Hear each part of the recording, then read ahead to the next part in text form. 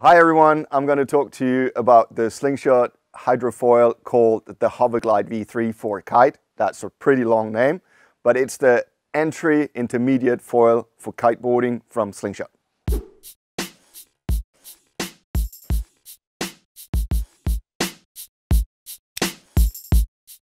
So in the package from uh, Slingshot for the Hoverglide V3 for kite, you'll find all this that is on the table here.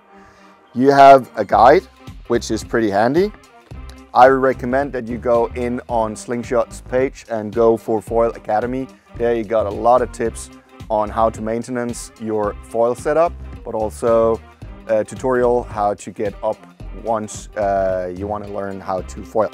You'll find some nice cushioned bag for your foil setup so that you don't scratch either your foil setup or your car or if you drop it on the ground. The most important is the set, which you find here, which contains a stabilizer wing, a rear wing. This Space Skate 65, which is the front wing. The body or the fuselage, you have the mount plate, you have the mast,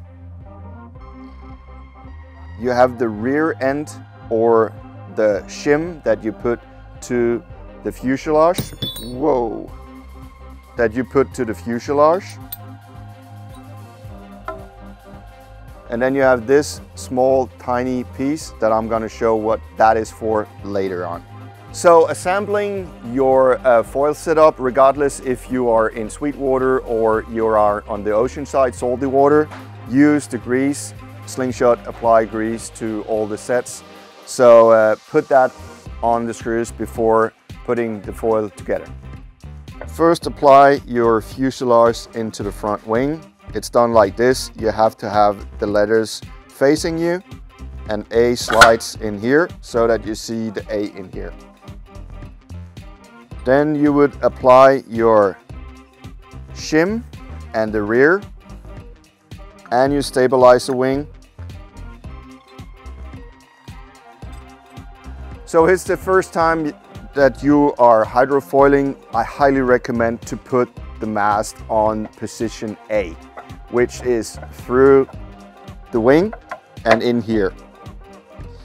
You could also put it into position B, which is here, mostly used for prone surfing, or if you want the most out of your foil, meaning that it increases its angle to move towards the surface very fast. It's really not easy to do when you're kiting, so I would recommend put it in into this position.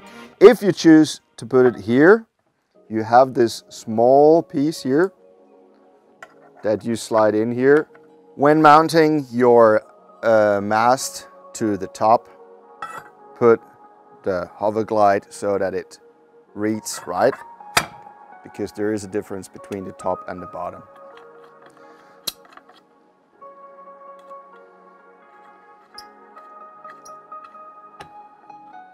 Now when you apply the lower to the mast, you can just slide it over here like this and put in those screws with the round head.